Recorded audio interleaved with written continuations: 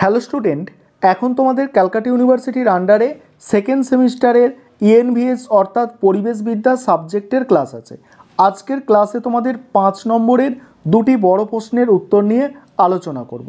আজকের ক্লাসে তোমাদের যে প্রশ্ন দুটো আলোচনা করব ইউনিট থ্রি থেকে আলোচনা করব, চিপকো আন্দোলন সম্পর্কে আলোচনা করো আর সাইলেন্ট ভ্যালিস আন্দোলন সম্পর্কে আলোচনা করো। এই দুটো প্রশ্নের উত্তর নিয়ে আলোচনা করব। তাহলে তোমরা প্রশ্নের উত্তর দুটো দেখে নাও। প্রথমে যে প্রশ্নের উত্তরটা নিয়ে আলোচনা করব, দেখো, চিপকো আন্দোলন সম্পর্কে আলোচনা করো। তার আগে যে বিষয়টা বলার আছে, তোমরা যারা ইংলিশ ভার্সানের ছাত্রছাত্রী আছো, তোমরাও আজকের ক্লাসটা দেখো, কারণ শেষে তোমাদের প্রশ্নের অ্যান্সারগুলো আমি ইংলিশে দিয়ে দেব। দেখো, প্রথমে যে প্রশ্ন আছে, চিপকো আন্দোলন সম্পর্কে আলোচনা করো।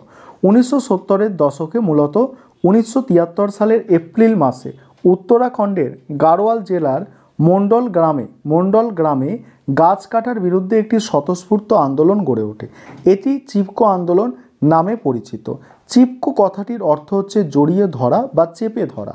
ঠিকাদাররা গাছ কাটতে এলে গ্রামবাসী মহিলারা গাছকে জড়িয়ে ধরত। এর ফলে ঠিকাদাররা গাছ কাটতে পারত না। হিমালয়ের হিমালয়ের পাহাড়ি এলাকা গাছ কেটে নেওয়ার ব্যবসা দীর্ঘদিন ধরে চলে আসছিল। কিন্তু অত্যাধিক গাছ কাটার ফলে পাহাড়ি লোকজনদের মধ্যে অসন্তোষ জমতে থাকে। কারণ তারা তাদের প্রয়োজনীয় জ্বালানি গাছ কাঠের জন্য কাঠ, বলছে, দেখো, কারণ তারা তাদের প্রয়োজনীয় জ্বালানি গাছ কাটার জন্য পাচ্ছিল না। এছাড়া গাছ কাটার ফলে ভূমিক্ষয় বাড়তে থাকায় চাষের জমির ক্ষতি হচ্ছিল। পরে কি বলা হচ্ছে দেখো, চিপকো আন্দোলনের সুফল হলো যে হিমালয়ের গাছ কাটা নিয়ন্ত্রিত হয়েছে এবং বড় গাছ কাটা বলছে দেখো, বড় গাছ কাটা কর্তৃপক্ষ নিষিদ্ধ করেছে। চিপকো আন্দোলনের ফলে ভারতের অন্যান্য ভারতের অন্যান্য পিছিয়ে পড়া এলাকার লোকজনও পরিবেশ সম্পর্কে সচেতন হয়ে উঠেছে। গান্ধীবাদী নেতা শ্রী সুন্দরলাল বহুগুণা এবং শ্রী চণ্ডীপ্রসাদ ভাট চিপকো আন্দোলনে নেতৃত্ব দিয়েছেন। পরের প্রশ্ন আলোচনা করব। তার আগে যে বিষয়টা বলার আছে যে তোমাদের জন্য অনলাইন কোচিং ক্লাস চলছে। তোমরা যারা অ্যাডমিশান নিতে ইচ্ছুক আছো, এই নম্বরে যোগাযোগ করতে পারো। Nine one two three nine one two three double zero five two one eight আরেকবার দেখো নম্বরটা nine one two three double zero five two one eight এই নম্বরে তোমরা যোগাযোগ করে অ্যাডমিশান নিতে পারো। আমাদের সপ্তাহে দুদিন করে ক্লাস হয় এবং পার মান্থ দুশো টাকা করে ফিস নেওয়া হয়। পরের প্রশ্নের উত্তর তোমরা দেখে নাও। পরের প্রশ্ন যেটা আছে দেখো সাইলেন্ট ভ্যালি আন্দোলন সম্পর্কে আলোচনা করো।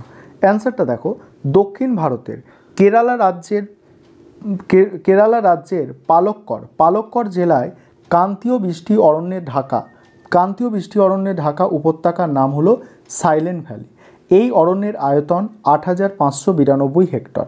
সাইলেন্ট ভ্যালি অঞ্চল নিবিড় কান্তীয় বৃষ্টি অরণ্যের জন্য বিখ্যাত। জলবিদ্যুৎ উৎপাদনের জন্য এখানে বৃষ্টি অরণ্যের ভেতর দিয়ে প্রবাহিত কুন্তি কুন্তি নদীতে বাঁধ নির্মাণের উদ্দেশ্যে কেরালা রাজ্য বিদ্যুৎ পর্ষদ একটি পরিকল্পনা গ্রহণ করে। প্রস্তাবিত এই প্রকল্প সম্পন্ন হলে সাইলেন্ট ভ্যালি বৃষ্টি অরণ্যের প্রায় আটশো হেক্টর বনভূমি ধ্বংস হবে, অর্থাৎ মোট মোট বনভূমির প্রায় টেন শতাংশ, টেন পার্সেন্ট অর্থাৎ দশ শতাংশ বাঁধের বাঁধের জলধারা, বিদ্যুৎ উৎপাদনের কারখানা, রাস্তাঘাট, বাড়িঘর তৈরি করতে নষ্ট হয়ে যাবে।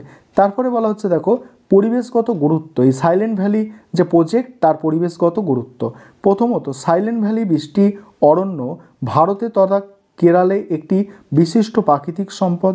দ্বিতীয় হচ্ছে, বৃষ্টি অরণ্যের মতো এত বিপুল বৈচিত্র্য, অর্থাৎ গাছপালা, পোকামাকড়, জীবজন্তু, পাখি, সরীসৃপের সমাবেশ ভারতে আর কোথাও দেখা যায় না। তৃতীয়ত, কেরালের সাইলেন্ট ভ্যালি অঞ্চলে প্রকৃতির নিজস্ব ভাণ্ডারে, ভাণ্ডার কয়েক হাজার বছর ধরে দেখো, আদিম, অটুট ও অপরিবর্তিত রয়েছে। তারপরে কি বলা হচ্ছে? চতুর্থত জলবিদ্যুৎ। জলবিদ্যুৎ উৎপাদনের জন্য সাইলেন্ট ভ্যালির যে দশ শতাংশ জায়গা জল দেখো, জলনিগম হওয়ার কথা মানে কথা, তা বনভূমি বাস্তুতন্ত্রকে চরম বিপদের মুখে ঠেলে দেবে। তারপরে কি বলা হচ্ছে? দেখো সাইলেন্ট ভ্যালি অঞ্চলে বৃষ্টি অরণ্যকে বাঁচানোর জন্য উনিশশো আটাত্তর সালে কেরালে একটি বামপন্থী স্বেচ্ছাসেবী বিজ্ঞান সংস্থা কেরালের স্বাস্থ্য সাহিত্য পরিষদ উদ্যোগে যে আন্দোলন শুরু করে, তা ভারতে প্রথম ও ব্যাপক সংগঠিত পরিবেশ আন্দোলন। এবার তোমরা যারা ইংলিশ ভার্সানের স্টুডেন্ট আছো, তোমরা নোটসটা দেখে নাও।